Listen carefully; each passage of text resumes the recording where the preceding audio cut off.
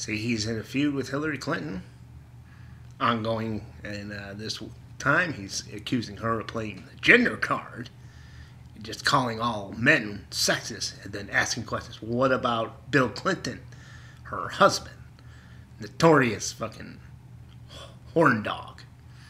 You know, with the Monica Lewinsky scandal and the Paula Abdul scandal and the Gennifer Flowers scandals.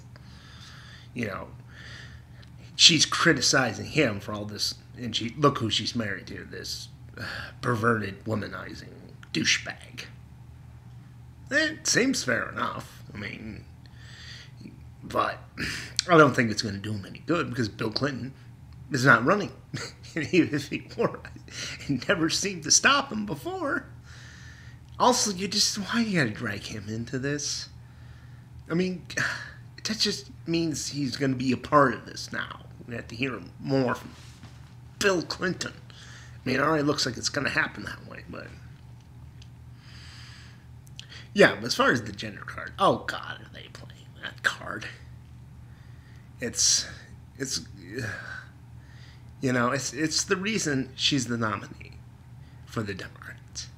It's the reason, but I mean, I, I said it. I think I've said this before. It's you know, she didn't win in 2008. So to make up for that, she's going to get the nomination now. Also, I mean, talk about rigged. There's why is it the Democrats, as progressive as they are, they've only got one woman running for the presidential nomination because it's Hillary Clinton. No one wants to cross that bitch. Ooh, I'm sexist. I don't care. Like I said she plays that card, but Donald Trump plays his cards as an outsider. He can say whatever he wants. It seems like most of them have cards to play, and they play them pretty well. Uh, except for like Jim Gilmore, who has no card to play, and that's why he's at zero. You know, Hillary's a woman. Carly Fiorina's a woman who's not Hillary Clinton. That's her card.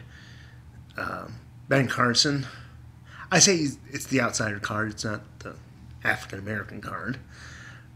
Um, Rubio, he's young. That's his card. Uh, Rand Paul, he's a libertarian, different ideas. That's his card. And Donald Trump's an asshole. That's his card. He plays the asshole card.